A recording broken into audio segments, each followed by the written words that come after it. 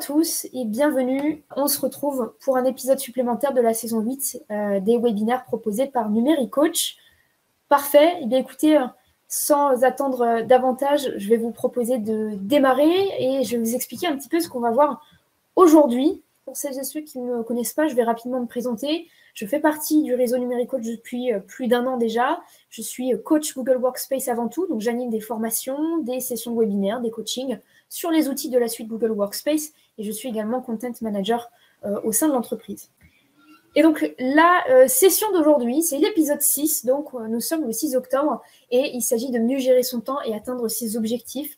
Alors la thématique de productivité, c'est ce qui a été le fil rouge depuis le départ effectivement de cette saison 8. Aujourd'hui, c'est effectivement l'objectif de vous proposer des petites astuces, des fonctionnalités euh, qui, euh, bah, qui touche effectivement à la productivité, peu importe les outils qu'on va utiliser. Et là, je parle bien toujours des outils de la suite Google Workspace. Donc, au programme concrètement, je vais vous euh, parler de trois astuces sur Google Agenda qui va vous permettre déjà de mieux gérer votre temps, bien sûr. Une astuce également qui va regrouper les outils de Gmail, Tasks et Agenda qui vous permet bah, de gérer vos tâches, justement vos objectifs et votre temps d'une main de maître. et puis on terminera cette session avec deux extensions Chrome euh, qui ont pour vocation, bien sûr, également de vous aider à gérer votre temps, gérer votre temps de concentration euh, et donc à atteindre vos objectifs, euh, les, tâches les plus importantes au quotidien. Alors, ce que je vous propose donc dans un premier temps, c'est d'aller sur la partie agenda. je vais vous montrer, vous dévoiler trois petites astuces. Alors, bien sûr, certains, certaines peut-être les connaissent déjà. C'est aussi le moment de partager un petit peu votre ressenti. On va en discuter. Et surtout, euh, certaines de ces astuces aussi peuvent être disponibles pour tous, comme euh, pas forcément selon les licences que vous allez avoir. En tout cas, ça vous donne quand même euh, une vision globale de ce qui peut être fait sur l'agenda. Et puis, pour celles, les, petites fonctionnalités qui ne sont pas forcément disponibles pour toutes les licences, hein, c'est toujours le cas comme ça quand on a des événements où on a des personnes qui viennent de différents contextes. Eh bien, rassurez-vous, justement, les extensions Chrome que je vous propose à la fin de ce webinaire, de toute façon, seront eh bien, euh, pallier à ce, petit manque, hein, si jamais vous n'avez pas forcément euh, les licences qui peuvent accueillir ces, euh, fonctionnalités-là. Donc, on va commencer avec quelque chose de très simple. effectivement, lorsque vous êtes dans l'agenda, donc l'agenda de Google, on le sait déjà, on a la possibilité de créer différents types eh d'événements. on a des événements, on a des tâches, ça, ce sont des choses que vous avez tous, peu importe les licences mais aussi parfois on va avoir la possibilité de créer des moments de concentration, euh, des créneaux d'absence de bureau, etc. Donc la première astuce dont j'aimerais vous parler, ce sont effectivement les moments de concentration. Très pratiques si vous les avez, qui vous permettent de vous concentrer donc sur une tâche en particulier. Ça peut être un projet, ça peut être par exemple se dire que trois fois par semaine, bah, je vais mettre un créneau de concentration de 30 minutes pour traiter mes emails. On en a déjà parlé sur les épisodes précédents euh, pour la gestion des mails justement. Euh, et donc, euh, c'est beaucoup plus intéressant finalement qu'un événement lambda parce que le moment de concentration va permettre, vous allez le voir, eh bien, d'avoir un regard complet sur l'utilisation de votre temps et surtout, pourquoi pas refuser automatiquement les réunions lorsque vous avez ces créneaux-là. Vous devez vous concentrer sur un projet, donc on va refuser les réunions, on va refuser les invitations de réunion parce que c'est important qu'on se concentre sur cette, sur ce projet, cette mission, cette tâche. Donc, en créant un moment de concentration, on peut refuser automatiquement les réunions, que ce soit les réunions nouvelles existantes ou les nouvelles invitations aux nouvelles réunions. On peut même laisser un petit message. Pourquoi on refuse? Voilà, parce que j'ai besoin de concentration, parce que je travaille sur ce projet euh, qui est important, qui a une échéance euh, qui arrive bientôt. Euh, on peut donner beaucoup plus d'informations à ce sujet. Et lorsqu'on crée un moment de concentration, ce qui est quand même assez spécifique, c'est que visuellement, on peut le voir ici, hein, euh, je ne peux pas zoomer pour le coup, mais je vous mets la petite souris dessus, on a un casque, ça représente ce moment de concentration, c'est ce qui fait la différence entre le moment de concentration et l'événement. Donc, de prime abord, ça ne fait pas une grande différence, mais là où ça va en faire, en faire une, en fait, c'est sur l'utilisation du temps, euh, ce qu'on va voir dans quelques instants. Donc, première astuce, pas hésiter à utiliser le moment de concentration pour vraiment séparer les choses. Un moment de concentration, c'est différent d'une réunion, c'est différent d'une formation, c'est différent euh, de tout autre type euh, euh, effectivement d'événements que vous allez pouvoir créer. Et là, on va aller plus loin, en fait. C'est l'arrivée d'une nouveauté. Effectivement, cette nouveauté a été déployée très récemment, il y a quelques, quelques semaines, pas plus de ça, qui va vous permettre, en fait, de catégoriser vos événements, que ce soit bien sûr des moments de concentration ou des événements lambda. On va pouvoir maintenant les catégoriser. C'est-à-dire qu'à l'époque, on pouvait simplement, avec un clic droit ou bien lors de la création de l'événement, ajouter une couleur. Ça permettait visuellement pour nous de visualiser les différents types d'événements qu'on va avoir. Peut-être qu'en vert, on mettait les formations, puis en rouge, on mettait, je ne sais pas, les réunions, etc. Il faut savoir que ces couleurs-là, de base, c'est quelque chose qui n'est pas forcément encore compris de tous, ne sont pas visibles par contre par les collègues, par les autres personnes qui ont accès à votre agenda. Il faut savoir que les couleurs, c'est pour vous, c'est personnel. La personne qui va, elle, visualiser votre agenda de façon avec un regard extérieur, en fait, parce que vous lui avez peut-être partagé ou parce qu'elle peut vous trouver dans l'annuaire des contacts, bah, cette personne, elle ne voit qu'une seule couleur. Elle ne voit pas la différenciation que vous en faites. Par contre, vous, c'est possible. Vous pouvez, euh, bien sûr, différencier les événements avec des coups de couleur. Et là où vient la nouveauté, c'est que maintenant, on peut les catégoriser. Toujours dans l'optique d'avoir un regard global sur l'utilisation de son temps. C'est une fonctionnalité que je vais vous montrer dans quelques instants. Donc on peut se créer des catégories. On a des couleurs et on a ce bouton plus maintenant lorsqu'on fait un clic droit sur l'événement, mais on y a aussi accès lorsqu'on crée l'événement en partant de rien. Si on clique ici sur la petite gommette de couleurs, je vais avoir la possibilité donc de gérer les couleurs et les catégories, d'ajouter ce qu'on appelle des libellés. Et donc, lorsque vous créez des événements ou vous modifiez des événements existants, on va pouvoir donc les catégoriser. Je vais faire un clic droit dessus. Je vais choisir soit une couleur qui n'a pas de libellé, ou bien prendre un libellé justement associé à une couleur pour la catégoriser.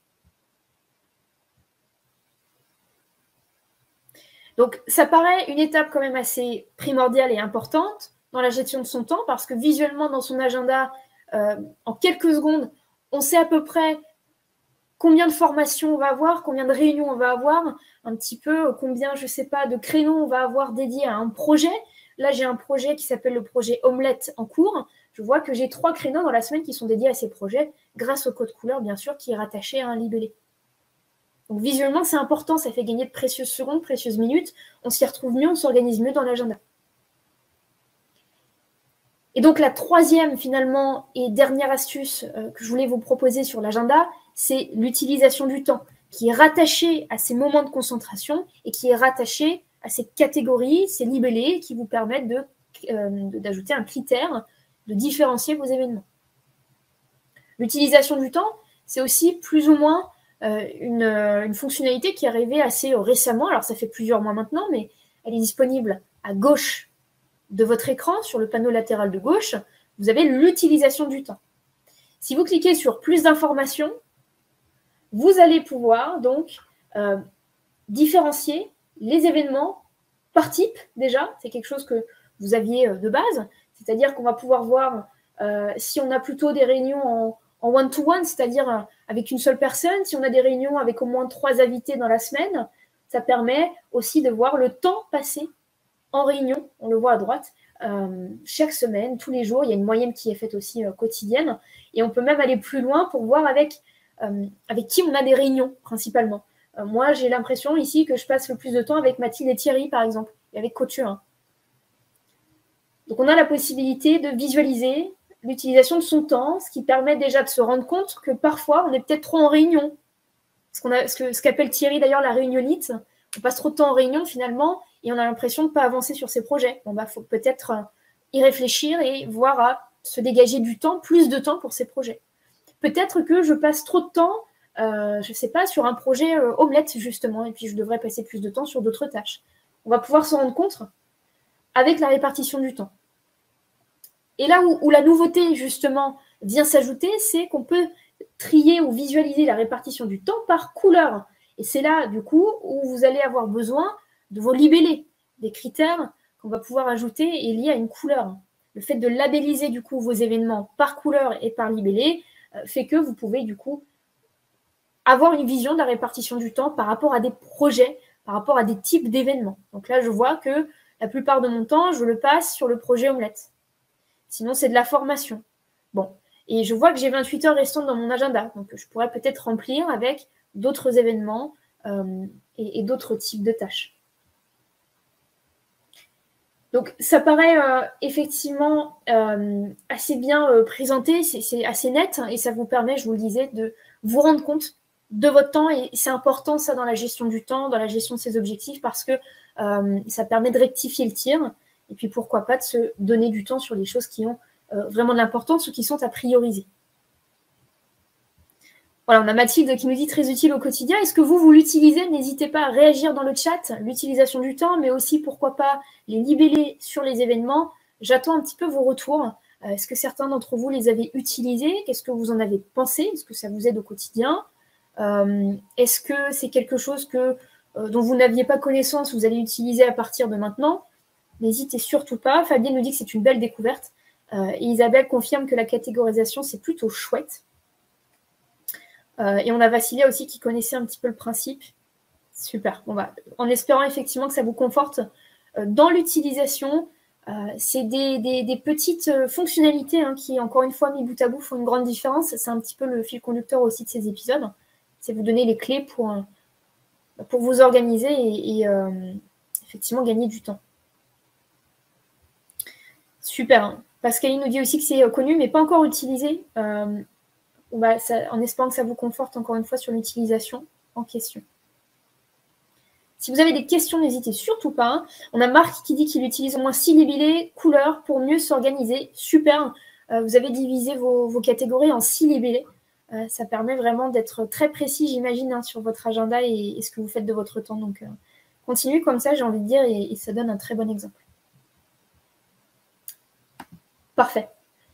Alors voilà pour la partie agenda. Je vous propose de passer euh, au deuxième chapitre en fait de cet euh, événement, de ce webinaire. Euh, c'est la gestion du temps par la gestion de ses tâches. Alors on en a déjà parlé pour celles et ceux qui avaient suivi le webinaire dédié à Gmail. Ça faisait partie effectivement de ce webinaire. moi je vais l'utiliser ici en guise de rappel et puis je vais en profiter pour vous faire un petit tour de l'interface, on va dire, de l'application Google Tasks auquel vous avez tous accès. En l'occurrence, peu importe ici euh, les licences et euh, vous allez pouvoir vous en servir encore une fois pour planifier votre temps et surtout vos objectifs et atteindre ces objectifs selon les échéances, les priorités que vous avez. Alors c'est simple, je me trouve dans l'agenda. Euh, pour celles et ceux qui s'en souviennent, je vous avais montré la dernière fois qu'on pouvait donc transformer un email en une tâche. C'est exactement ce que je vais refaire ici. On va aller même plus loin après sur l'outil Tasks en l'occurrence. C'est très simple j'ai devant les yeux un email. Euh, c'est euh, alors je me mets à la place de Camille bien sûr. On a Laurine, une, de mes collaboratrices, qui m'a envoyé un email et qui me demande de compléter un rapport de qualité pour le mois d'octobre. L'idée ici, tout simplement, je vous fais un petit euh, rappel encore une fois, c'est de se poser la question suivante. Est-ce que j'ai le temps de le faire maintenant? Est-ce que ça va me prendre 2-3 minutes? Ou est-ce que je n'ai pas le temps de le faire? Et dans ces cas-là, bah, je vais remettre cette tâche à plus tard si la réponse est oui, j'ai le temps, je, le fais de suite, il n'y a pas de souci. Puis après, je vais pouvoir euh, supprimer mon mail ou l'archiver, pourquoi pas, le classer quelque part. Par contre, si je n'ai pas le temps, c'est là où c'est intéressant. Euh, je ne vais pas laisser ce mail flotter dans ma boîte de réception. Si vous en souvenez, euh, pour l'épisode de Gmail, c'est vraiment la chose à ne pas faire. On ne va pas laisser le mail stagner dans la boîte de réception, on va quand même acter. On va faire quelque chose dessus. Donc, j'ai pas le temps de faire la tâche maintenant, j'aurai le temps plus tard. Ce que je vous propose encore une fois, c'est de cliquer sur ce bouton-là qui vous permet d'ajouter ce mail à la liste des tâches. Déjà, je vais lier un mail à une tâche, ce qui va me permettre ensuite euh, bah, de faire le suivi de cette tâche. Donc, ça reprend le sujet du mail, en l'occurrence. Je peux le personnaliser, pas de souci. Euh, donc, par exemple, ici, euh, qu'est-ce qu'on me demandait? On me demandait de compléter le rapport. Donc, je vais changer le titre de cette tâche. Voilà, compléter le rapport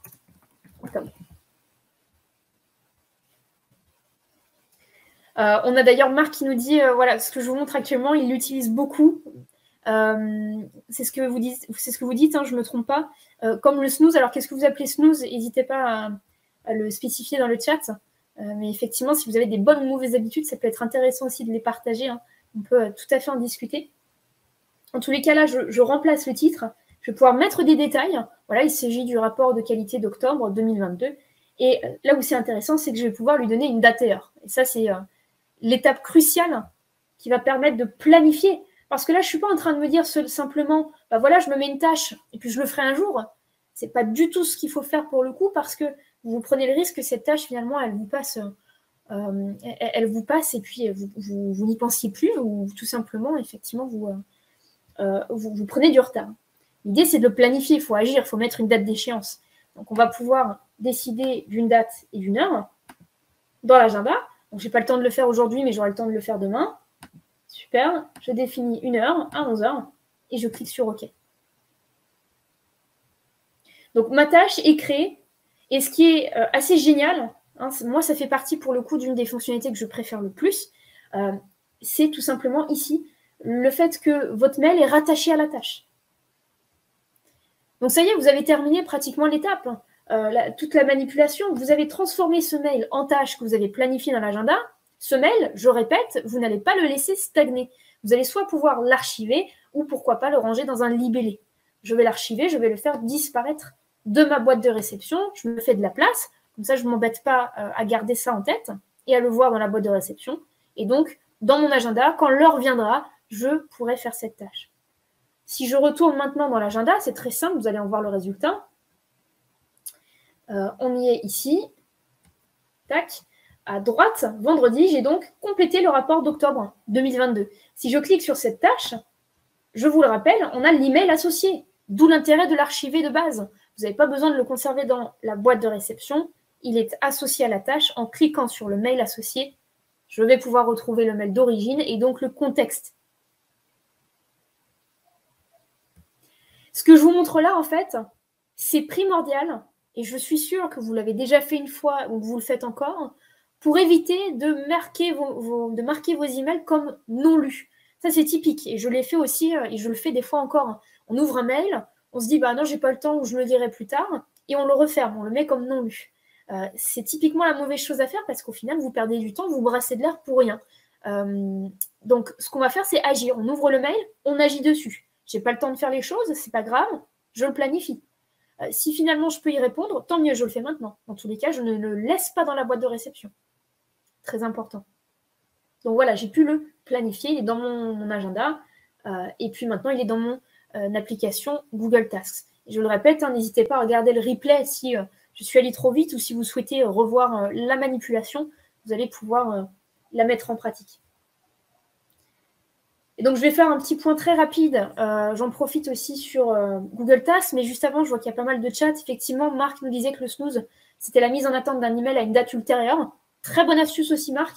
Euh, on a la possibilité, je vous montre ici, quand on ouvre un mail, effectivement, juste à droite, à gauche, pardon, de cette icône, ici, mettre en attente. Hein, c'est l'icône de l'horloge, tout à fait.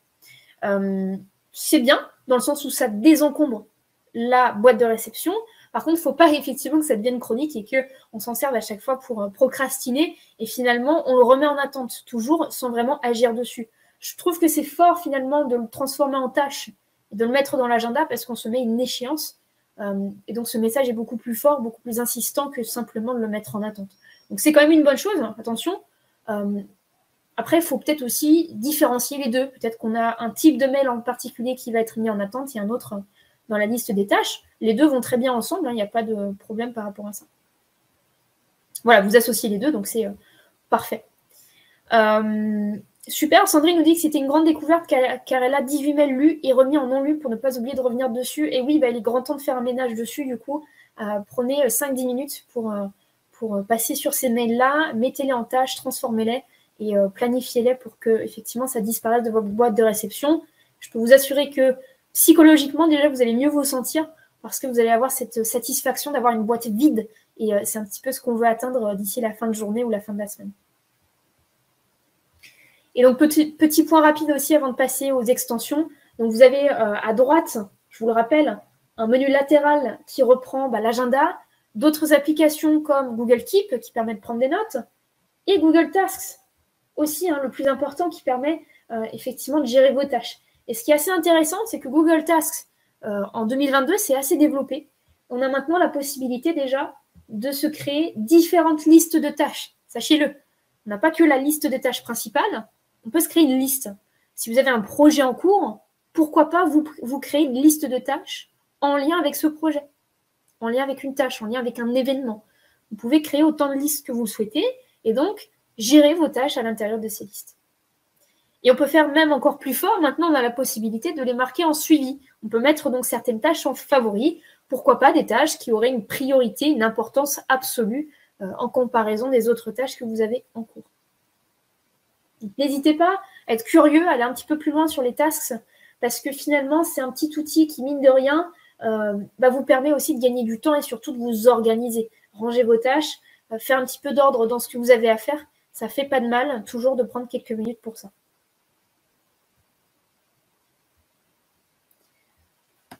Parfait. Alors, si vous avez des questions, n'hésitez pas encore une fois. Et si tout est OK de votre côté, je vous propose de passer sans attendre à deux extensions que j'aimerais vous proposer aujourd'hui qui vous permettent de gérer votre temps euh, d'une main de maître. Je vais parler de l'extension qui s'appelle Pomodoro et de l'extension qui s'appelle Button for Google Calendar, deux petites extensions euh, gratuites, bien sûr. En tout cas, euh, il y a une version gratuite, puis parfois il y a des versions premium, mais la version gratuite est entièrement suffisante. Et là où c'est intéressant, les extensions, j'insiste dessus, c'est surtout pour les personnes qui n'ont pas forcément des licences Google Workspace euh, business, euh, d'entreprise, et donc qui n'ont pas forcément accès à toutes les fonctionnalités, par exemple dans l'agenda qu'on a vu tout à l'heure, tout ce qui est les moments de concentration, euh, l'utilisation du temps avec les petits graphiques qu'on avait tout à l'heure. les extensions Chrome, finalement, c'est des fonctionnalités ajoutées, c'est de la valeur ajoutée à votre navigateur qui permet aussi de toucher certaines de vos applications comme l'agenda par exemple, comme Gmail, il y a plein d'extensions disponibles qui permettent finalement euh, d'ajouter comme ça des petites pièces de puzzle euh, par-ci par-là et donc de vous aider à gérer votre temps. Donc la première extension que je vous propose en fait, c'est l'extension Pomodoro. Est-ce qu'il y a des personnes qui la connaissent ici? Euh, D'ailleurs, si vous le souhaitez, je vais vous donner le lien tac, de la page d'extension si vous souhaitez l'installer éventuellement. Je vais vous faire une petite démo avant quand même pour que vous puissiez voir un petit peu ce que c'est. Donc la méthode Pomodoro, vous l'avez ici. Concrètement, c'est une méthode qui aide à la gestion du temps et, euh, qui consiste à travailler en segments de 25 minutes chronométrés. Vous avez un espèce de minuteur qui externalise en quelque sorte la discipline, la tâche, le projet sur lequel vous travaillez. Donc ça vous aide à vous rendre responsable parce que vous savez que pendant ces 25 minutes-là, vous êtes dédié en full concentration, concentration complète sur la tâche, le projet, etc. Donc avec ce minuteur, vous n'avez plus besoin de penser au temps finalement, ça vous fait euh, économiser de l'énergie, du temps et ça vous aide à vous concentrer. Donc c'est très pratique pour les personnes, encore une fois, qui n'ont pas forcément, par exemple, euh, la, fonctionnalité de moment de concentration dans l'agenda Google, dépendamment des licences. Faut savoir que la méthode Pomodoro, ça doit euh, son nom au minuteur de cuisine. vous savez, un, une espèce de minuteur de cuisine qui serait en forme de tomate euh, pomodoro en italien d'ailleurs, euh, c'est un mot italien et en français ça signifie tomate tout simplement. Et euh, ça a été effectivement Francesco Cirillo, juste pour un petit peu d'histoire ici, qui a créé cette méthode. C'est un consultant et un écrivain et lorsqu'il étudiait à l'université, bah, en fait il s'est servi d'un minuteur qui ressemblait à une tomate, un minuteur de cuisine, effectivement pour se concentrer davantage sur les tâches qu'il avait à effectuer, d'où la création de la méthode Pomodoro qui signifie donc tomate. Euh, euh, et, qui a été euh, très fameuse, hein, qui fait le tour du monde maintenant et, qui est assez connue de la plupart des, personnes. Donc je vous ai mis le lien et je vais vous montrer en quelques secondes tout simplement comment ça se comment ça s'utilise. C'est plutôt très simple. Donc une fois que vous l'avez installé sur Chrome, vous allez avoir la méthode Pomodoro en haut à droite, tout simplement dans les extensions. Je le rappelle, hein, on clique sur la petite pièce de puzzle en haut à droite. On a toutes les extensions listées, mais on peut aussi les épingler tout simplement pour les avoir constamment sur ce qu'on appelle l'omnibox de Chrome, donc cette partie euh, haute du navigateur. Donc j'ai mon extension qui s'affiche, je peux cliquer dessus, puis ça fait euh, apparaître effectivement ici ma fenêtre. Alors comment est-ce que ça marche l'extension? Pomodoro C'est encore une fois très simple et elle est gratuite, donc n'hésitez pas à l'utiliser au quotidien. Premièrement, vous allez pouvoir créer des tâches. On va se créer une tâche ici. Je vais dire que je dois euh, je ne sais pas moi, compléter justement, compléter le rapport, le fameux rapport dont on parlait tout à l'heure, d'octobre 2022. Super. Lorsque je crée cette tâche, en fait, euh, même avant de la valider, j'ai la possibilité de choisir le nombre de pomodoro, c'est-à-dire le nombre de créneaux euh, que je vais intégrer à cette application, à cette tâche plutôt, et donc euh, dont je vais me servir pour me concentrer. Donc je vais pouvoir choisir une durée pomodoro, j'en veux une, c'est-à-dire que je veux un créneau de 25 minutes. je peux en, choisir deux. Par exemple, je décide de passer finalement 50 minutes. Je vais avoir deux créneaux de 25 minutes et entre les deux créneaux, je vais faire une pause. C'est important aussi euh, tout simplement de respirer, de, se donner un petit peu d'espace euh, avant de se reconcentrer, parce que ce n'est pas euh, finalement simple de se concentrer à 100% pendant un certain temps.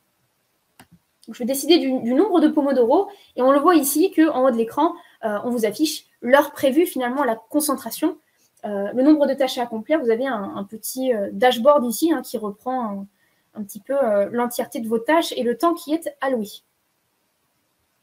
Donc on peut mettre des échéances aussi. Euh, peut-être que c'est euh, à faire dans une semaine, dans un jour, etc. Choisir le nombre de pomodoro et puis pourquoi pas ici aussi euh, le mettre dans un projet. Vous pouvez décider de, créer certains projets. On a un projet en particulier, on va ranger cette tâche dans le projet, un petit peu comme dans Tasks, sauf qu'ici on va pouvoir allouer des moments de concentration. Donc vous avez pas mal de petites tâches supplémentaires, des options. On peut se mettre des rappels, répéter. Bon, je ne fais pas dans le détail, mais c'est quand même assez pratique. Et donc, on peut lancer la tâche une fois que c'est fait. Admettons qu'aujourd'hui, vous deviez effectivement euh, faire cette tâche, vous allez pouvoir lancer le Pomodoro. Et donc, vous avez 25 minutes qui démarrent, pure concentration. On ne fait que ce qu'on a prévu de faire.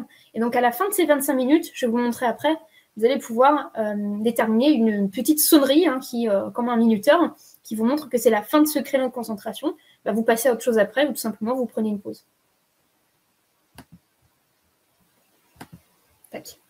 vous pouvez rétrécir ou agrandir cette fenêtre, hein, tout simplement en cliquant sur le petit bandeau du bas, ce qui vous permet d'avoir une concentration maximale.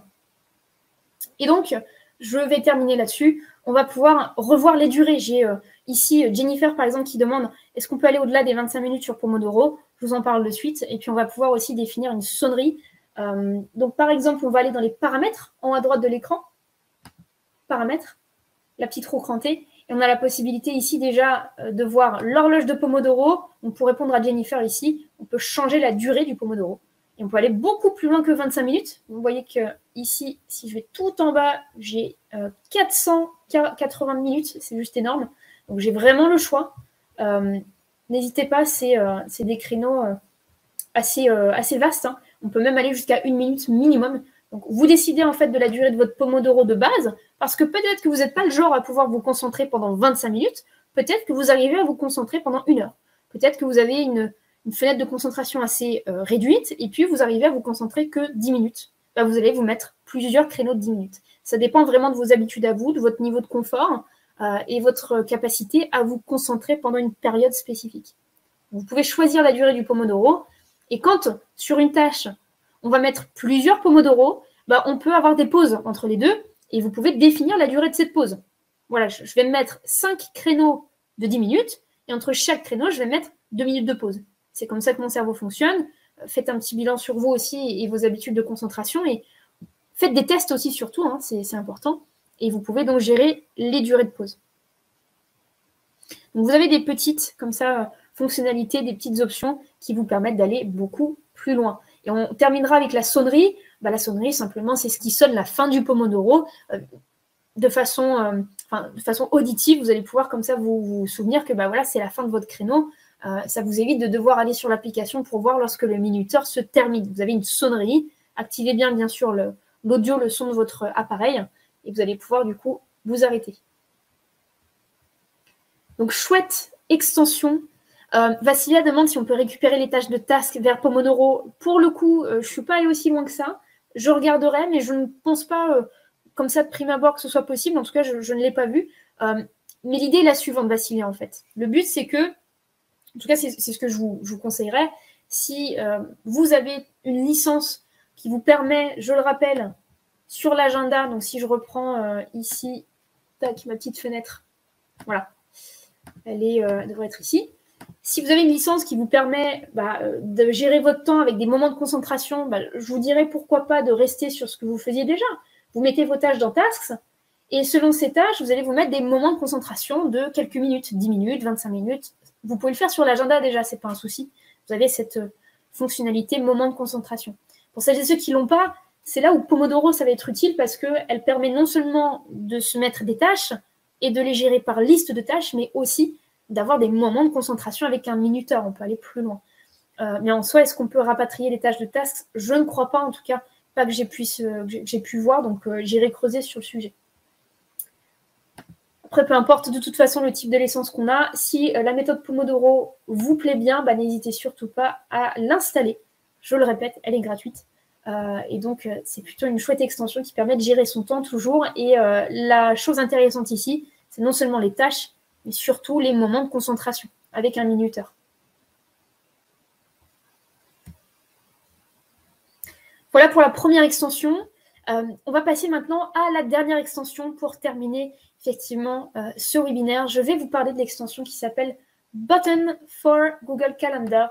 Je vais vous l'écrire juste ici. Vous envoyez aussi le lien dans le chat. Cette extension, vous allez voir, euh, qui permet d'avoir la vue toujours sur son agenda, sur son calendrier. Il est là. Et je vais vous envoyer le lien dans le chat cette extension, je l'ai déjà euh, ici installée. Vous pouvez, je le répète, l'épingler sur l'Omnibox lorsque vous ouvrez la pièce de puzzle en haut à droite. Vous allez pouvoir épingler vos extensions.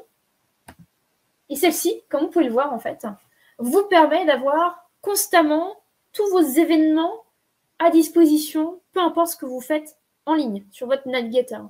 Et ça, c'est chouette, parce que ça veut dire qu'on n'a pas besoin, ou du moins on n'a plus besoin, d'avoir l'agenda ouvert constamment.